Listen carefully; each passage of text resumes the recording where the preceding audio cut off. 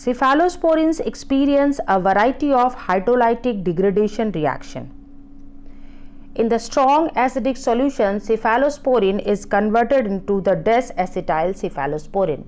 This des-acetyl means the removal of this acetyl group present in the third position of the cephalosporin.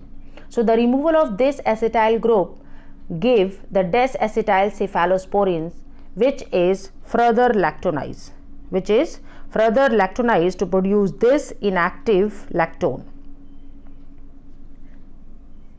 The lactones are the cyclic carboxylic esters. We have this COH group and this OH group both of them will react for the removal of one molecule of the water and forms the cyclic esters and the oxygen present in this cyclic ester is the heteroatom which is replaced by the carbon. So, this is the lactone ring which is inactive produced in the strong acidic solution. The second is the presence of the beta lactamase enzyme.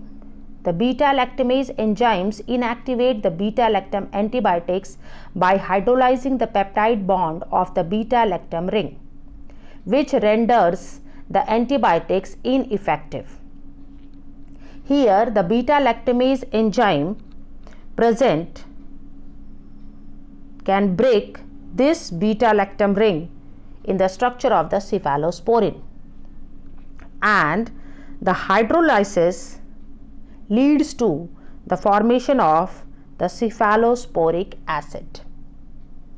In this structure, the acetyl group is present.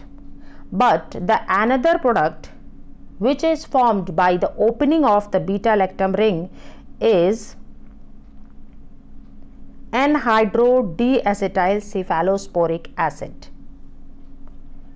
And in this structure, the acetyl group is removed and both of these products can leads to the further fragmentation and the rearrangement to produce the inactive products.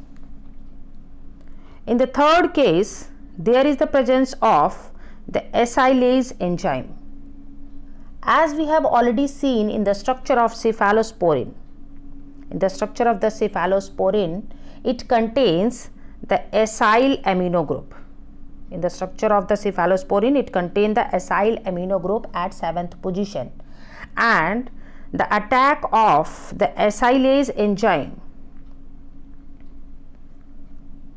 on the acyl amino side chain leads to the hydrolysis and the cleavage of the acyl amino side chain to obtain the 7 amino cephalosporanic acid and the further hydrolysis and lactonization of this 7-ACA forms the des-acetyl 7-ACA lactone which is inactive similar to the first lactone obtained in the presence of a strong acid.